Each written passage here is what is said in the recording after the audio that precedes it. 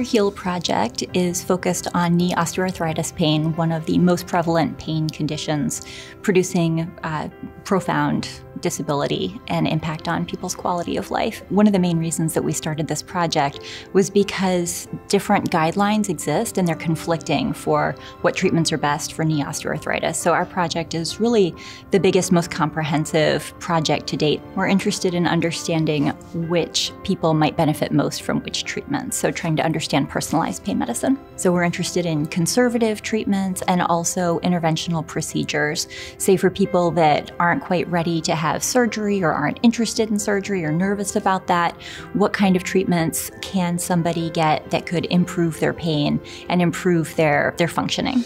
Right now, I think more than ever before, people are realizing the profound impact pain has on people's lives. We'd love for people living with pain to know that NIH and so many investigators are working hard to try to better understand the, the struggle um, and that, that pain is so profound in people's lives. And we really like to encourage them to look for trials, look for studies, and participate if they feel comfortable and that speaks to them. We'd love to have them participate in our work and, and try to um, you know, improve the future for others.